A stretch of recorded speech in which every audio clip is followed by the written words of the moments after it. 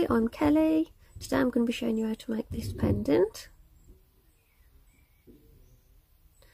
Written in the description below is a list of everything you'll need along with links to my Facebook page and my Etsy page where I've got all my PDF tutorials if anybody's interested in those. This one is quite a simple idea pendant to do really and as long as your stone has a hole through the middle then it will work. so It could even work with a crescent moon shape.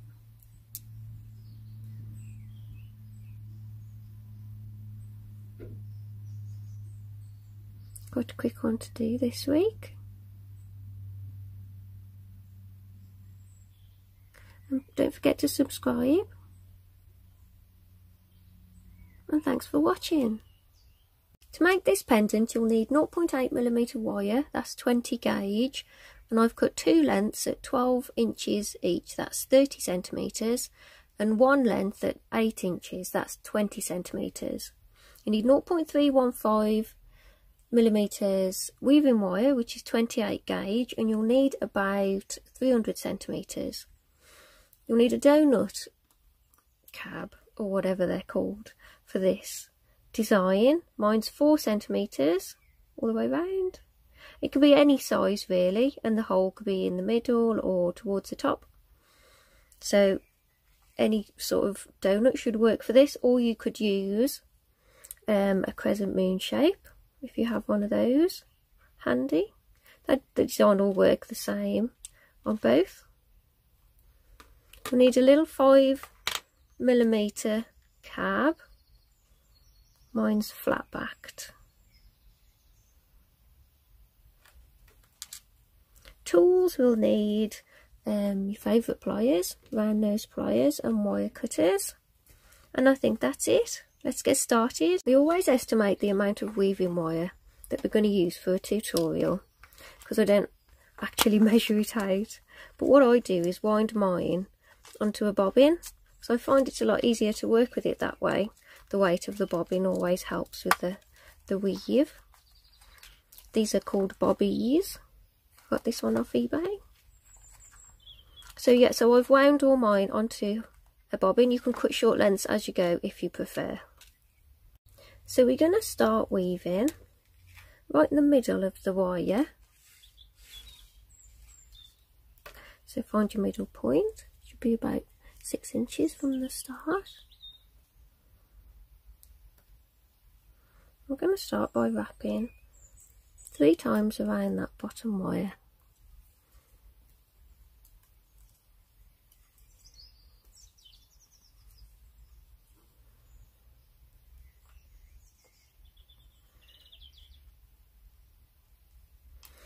So what we're going to do, I know I even haven't really started yet, but we're going to pull those wires apart just a little bit. We're going to do a figure of eight type weave over the two wires. So I've gone up the back and over the top of the other wire.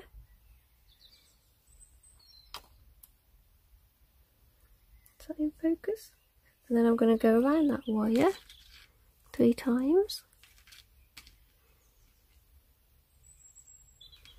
and then that wire has come over the top so I'm going to go underneath the bottom wire. I'm going to wrap around that three times. Then up the back over the top wire. Wrap around that three times.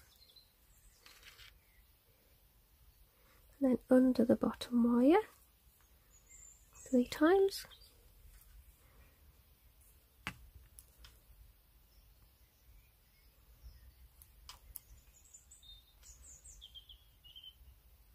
So we're going to do this. As long as the distance between the hole and the edge of the bead, bead stone. So your weave needs to be as long as this distance here so we can pop the wires through the middle and this bail type weave will reach to the edge of the stone So keep doing that figure of eight type weave. So that's my weave. And it's the same length as my stone. Always keep pushing your weave together as you weave in. Like that. And I just cut that tail off.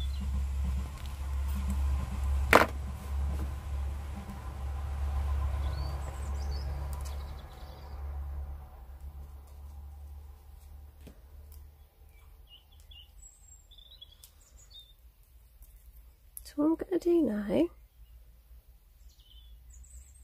is I'm going to post those wires through the stone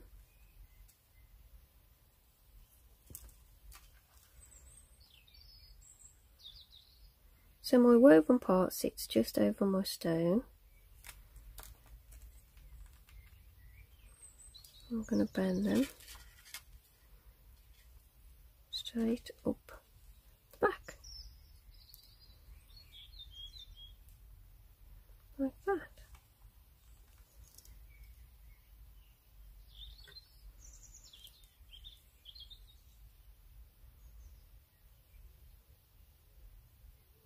So I've just added a few more repeats so that we weave came to the top of my stone. I'm going to do now is open these back two wires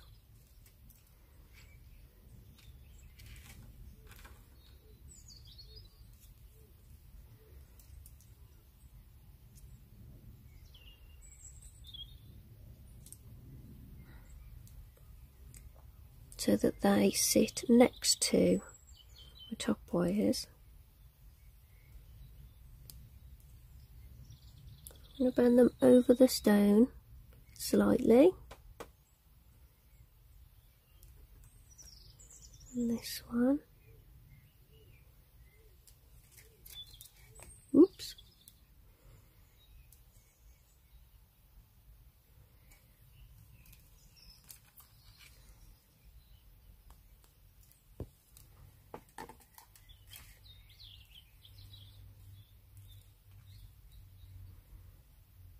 So I've now got four wires all sat next to each other.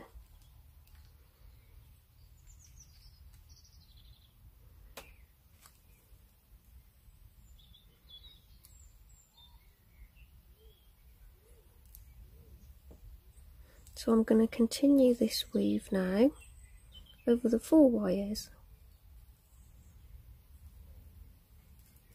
So I'm going to go around the two wires.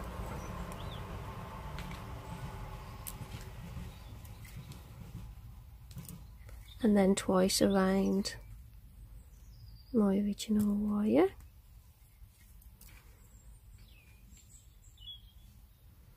And I'm going to go to the other side. Straight around the two wires. Do that twice then I'll go just around that middle single wire twice.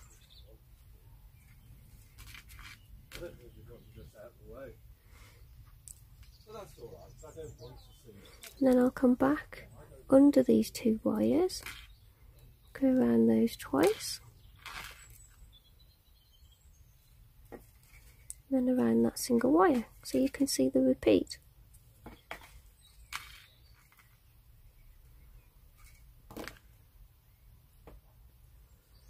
We'll do that. Keep repeating that. And make sure your wires don't come in. They still need to be on a nice angle going out. So we need to re repeat that? So I've done about a centimetre and a half one and a half centimetres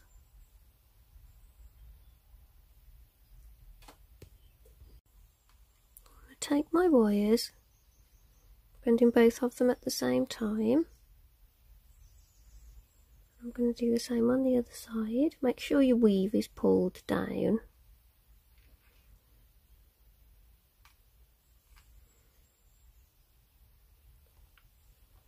So I'm aiming for a nice shape on the top there.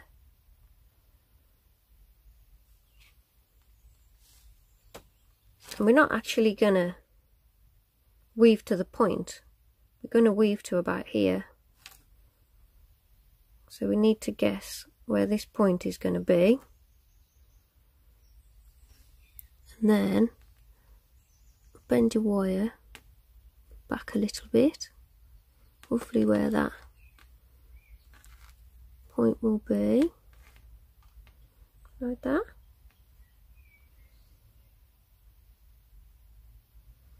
Then we're going to carry on weaving up this shape, this new shape. So I'm going to go under both wires twice. And this, this is going to want to keep sliding along the wire, so you've got to hold it down.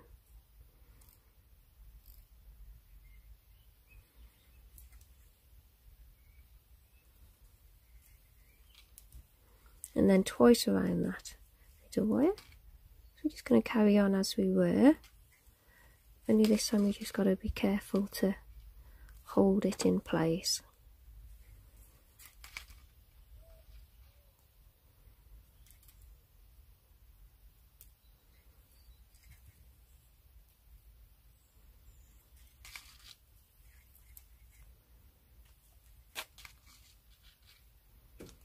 We're going to continue that a bit further. And as you're weaving this top part it's quite fiddly and the temptation to squeeze and pull the wires is quite tricky. So just make sure you don't push these two parts together because you're going to crimple all your wires. You have to resist the temptation to pull those main wires together so try and keep that shape as you weave in so I've woven right the way to the top there. But don't keep going till your wires meet. You need a gap at the top here. So they need to be apart a little bit. That's what I've got so far.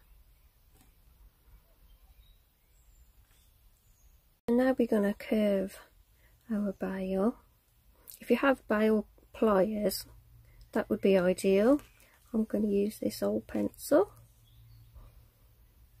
I'm going to put it right where the bend is on the wires and gently bend the weave completely over the piece like that.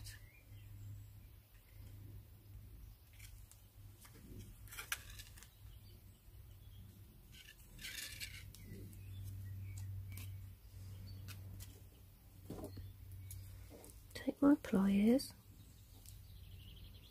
Where these wires come down at the back here just going to bend them up a little bit.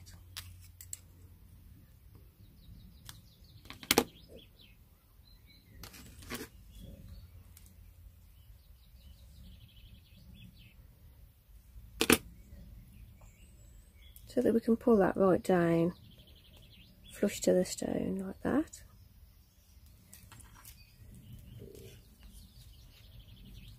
a little bail.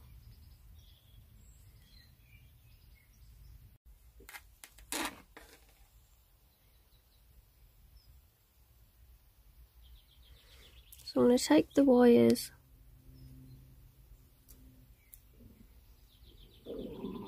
of the weave here that went round to the back and I'm going to pull them around to the front and the other side.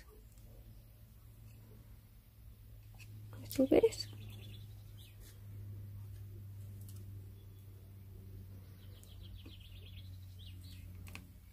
I'm going to take my weaving wire and I'm going to go around the whole piece all the way around about five times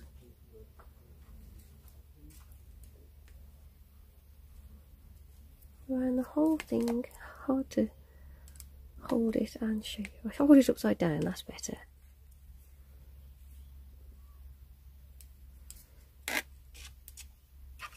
Just so we're strapping it all together and then I'll go around one of these wires just to secure it in place.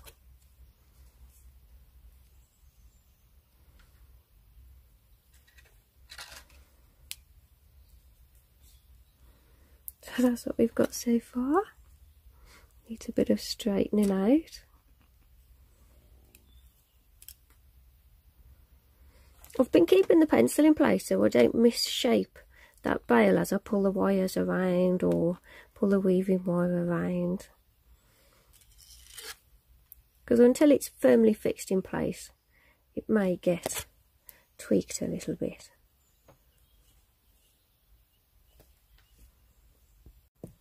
I'm going to cut that weaving wire.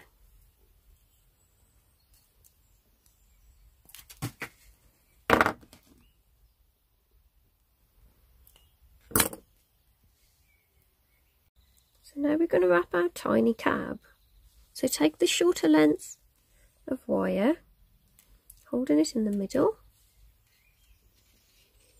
Hold your cab face down. Now this is really quite fiddly and it takes some time, practice to get your head around it. But if you can wrap the cab this way, it's really useful. You can add it to almost any jewellery at all. So it's worth persisting with. This is really fiddly, but it's worth persisting with. So I'm wrapping my wire around the cab and then hold onto your cab really tight wrap the wire around the cab. Get nice and tight and keep going around.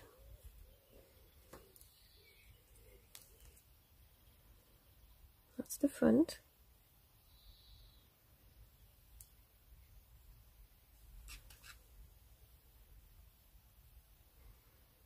As I said, this is really fiddly, so please persist with it, because it is worth it. I'm going to carry on wrapping, winding around this stone. I'm going around the back now. Still got it face down on my finger. I'll keep going around.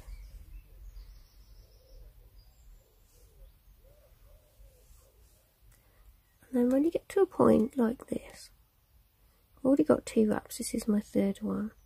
Start coming over the back of the stone. I'm still going around, so I'm kind of encasing the back of the stone.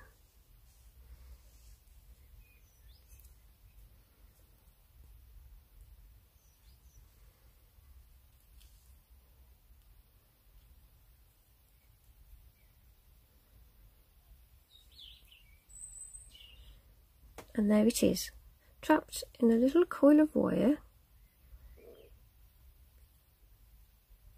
And this is really fiddly and hard to get it the first time and you think well maybe it's gonna pull undone or something if I just add it the way it is. So I made a little tester sample and I've been wearing this on my bracelet for about a week now. And it hasn't come undone and it hasn't snagged on anything so I think we can trust this little curl of wire, that square wire. That's on a cubic zirconia. We can trust that it's going to stay put.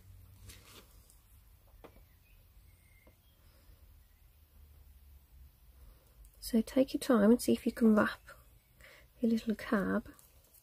And if you can finish with the wire coming out of each side, that would be ideal. So I'm just going to bend this wire out.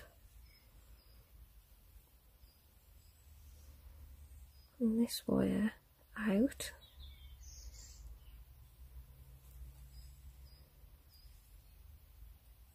And I'm happy that that's going to stay in there. And I'm going to add that to the bail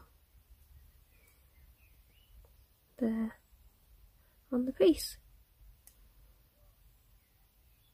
It is worth getting your head around this because you could add a loop at the top and you could hang it to an earring. You could chop off your single wire, which is what I did with this one.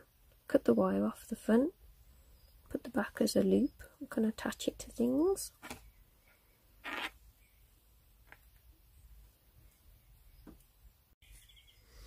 So I'm going to try and do this, keeping the pencil in place so I don't misshape my bail too much.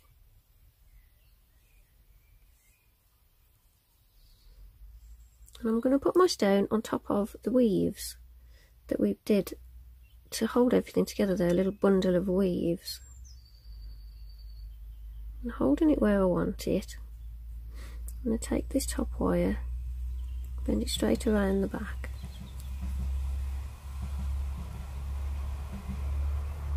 And then this the other wire which comes out the back of the stone I'm going to send around the other way.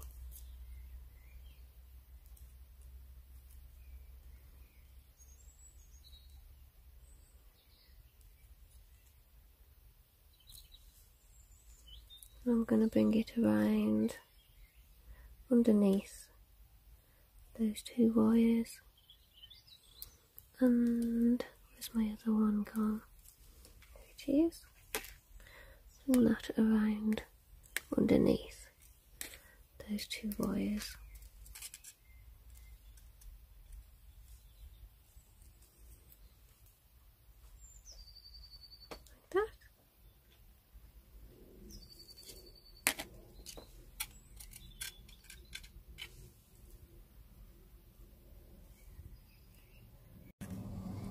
So I think I'm not going to bring them around the front. I think it's better off to finish them at the back there. So I'm actually taking them back to the back. Sorry about this, I've changed my mind. so my two wires off my stone taken to the back. What I'm going to do I'm going to cut them and then just fold it around the back of the bail and that will hold it in place.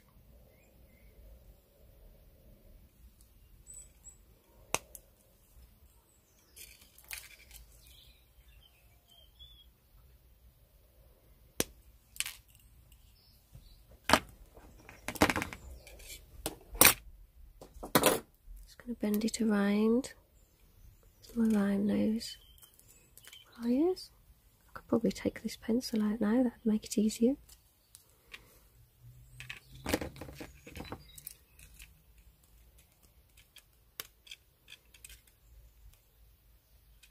Squeeze it in place on the other side.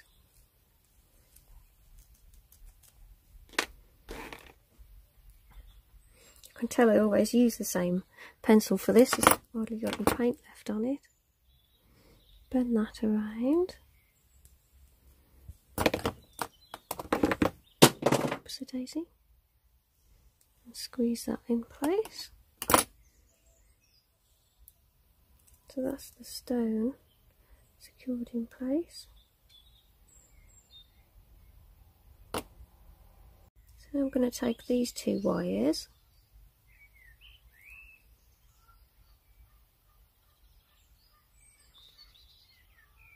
want to keep them nicely next to each other. Don't let them cross over each other. Take them around.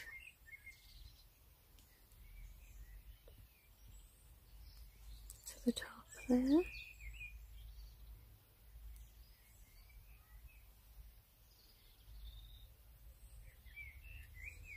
I'm going to curve them. Which one? Curve it around.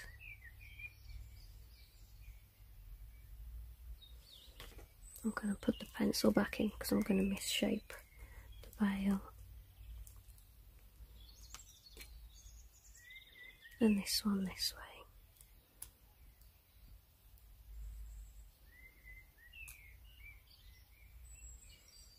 I'm going to have to attach a bit of weaving wire on there to secure it down.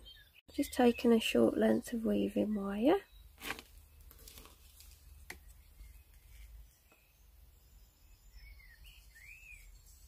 I'm going to wrap three times around one of the wires just to attach my weaving wire. I'm going to go around both wires.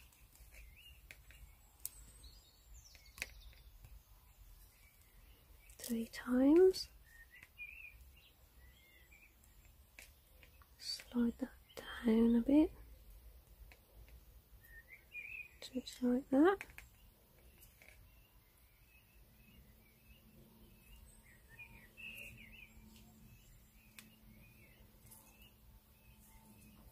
And I'm going to go through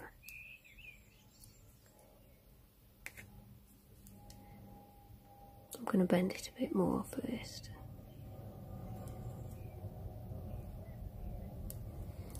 I'm going to go around this top wire three times. So I've secured my two wires together. I'm going to trim that weaving wire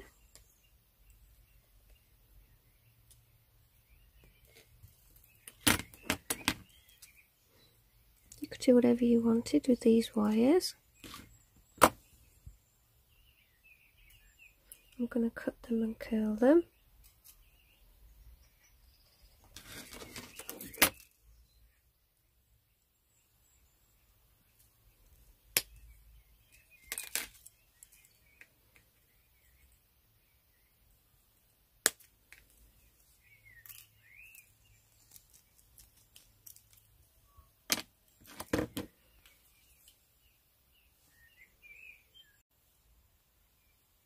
So I'm taking my round nose pliers just to curl my curl my wires there.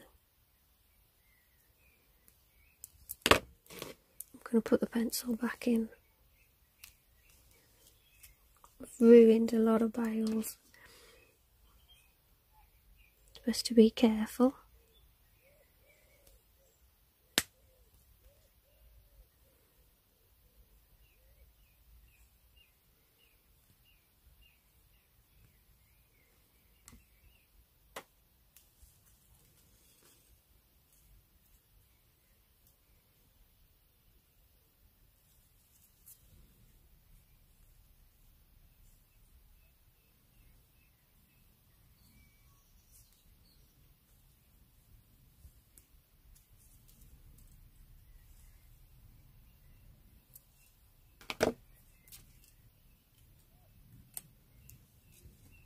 So I'm going to trim that weaving wire off there.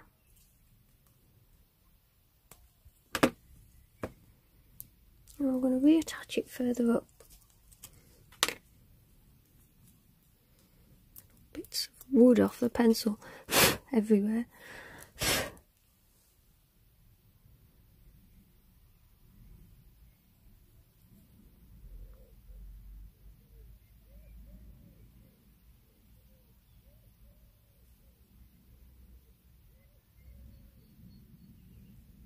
Going to reattach my wire to this little curl at the top.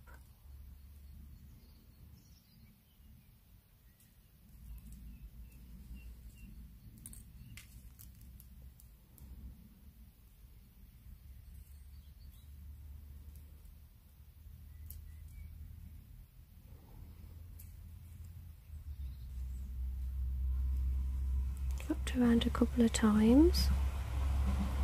I'm gonna go through the bail.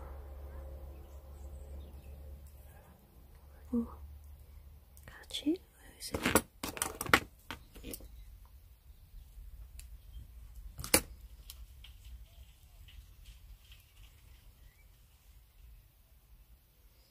I'm just going to wrap around the edge. Wires file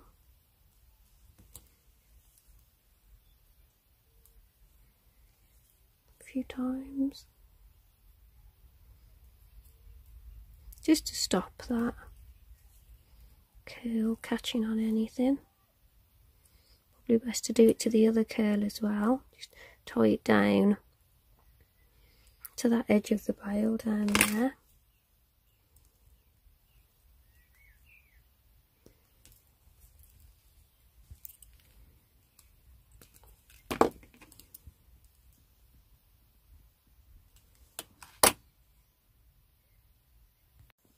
Now for these two wires. Really you can experiment and do whatever you want with these wires, curl them in whichever way you want. I'm going to add just a little bit of weaving wire to hold them together. I'm going to attach my wire to the bottom of the two.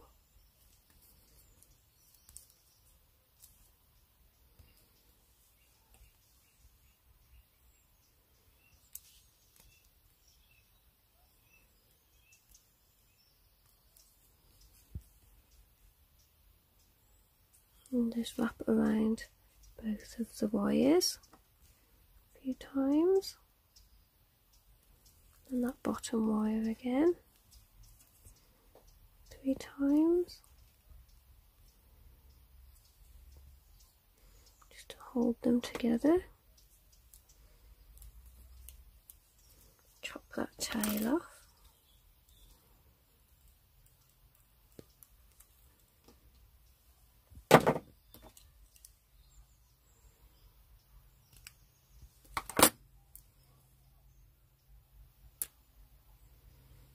To take the top wire straight around to the back. And this other wire, I'm going to add a few more coils.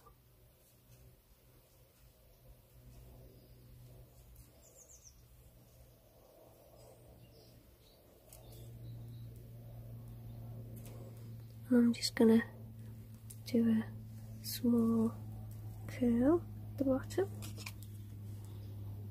So I need to finish off this top wire.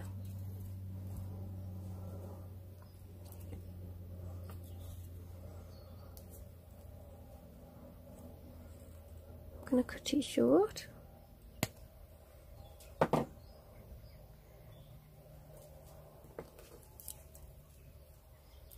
and I'm going to try and post it through there. Make a little hole first.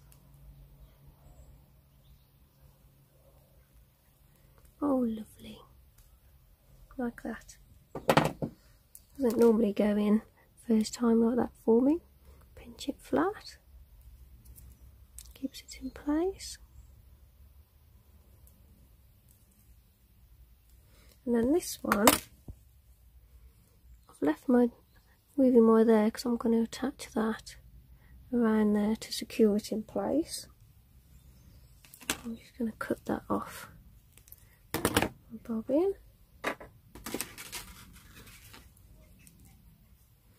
With this little bit of wire, to go straight behind the weave. Something's catching me there. A short bit. No matter how much you trim these ends off, they always seem to come back through. Right, where was I? Yes, pull that so it brings it right down flat.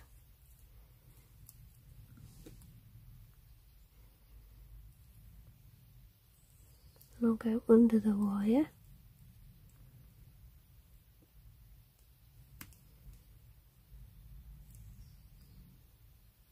And over. So we just went completely around the weave, over the weave on this side, posted it underneath this wire, and I'm doing a few more coils to hold it all in place.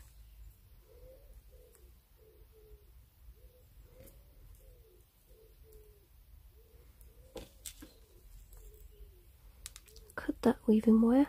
Try and get it short this time.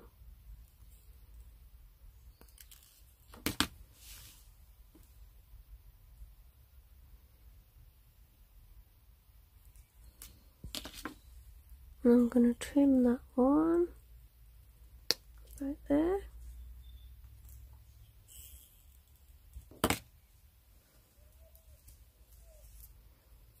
Curl that one around.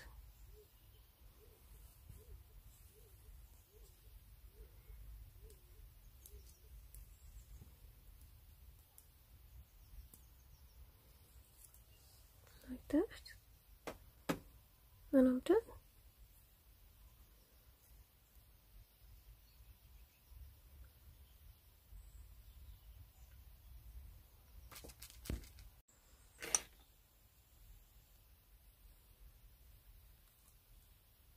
I curl that little wire around again to hold it firmly in place.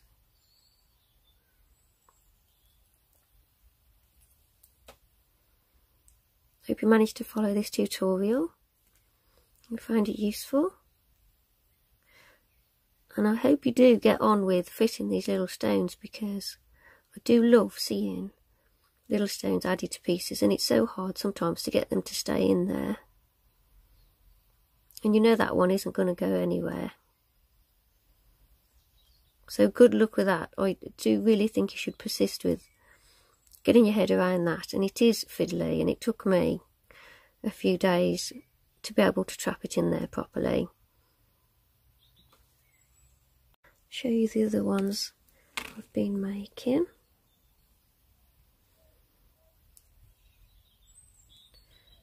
You can add a little loop on there and then you can attach it to your jewellery.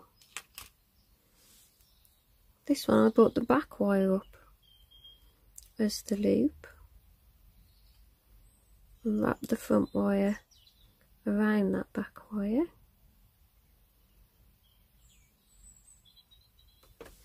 And you can do it with cubic zirconias as well. And that's a little tiny topaz.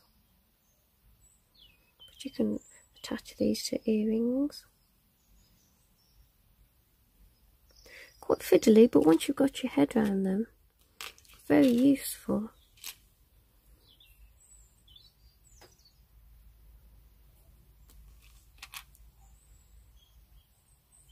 so you could add it straight to your your latest pendant that you've made. whatever you want to do really. It's up to you. Just thought I'd share that with you. Quite an exciting discovery. And I hope you found this tutorial useful. And don't forget to subscribe. And I'll see you in the next video. So this is my piece oxidised. and I've finished the little crescent in silver I did it in sterling and I found because I've never wrapped a crescent before with this design you got a lot of this going on and the crescent just kept popping out the bottom. So I've secured it with these little wraps. So if you want to do a crescent do the pattern as we did anyway normally. Bring the wires to the front and then bring the wires down out to the sides and then I've just brought them back around to the front I did these little curls and then I've just curled the ends and attached them on with weaving wire on both sides so it's all secure and that stone won't move around anymore now so I just wanted to share that with you. Looks quite nice in silver. And I've put a little garnet in there. That was really fiddly to get the smaller stone. It's much easier to do a bigger stone like that. So have fun, happy making, and do come and share all your finished work on my Facebook page I do love seeing all your finished work and don't forget to mention me when you're sharing your finished work made from my tutorials online see you in the next video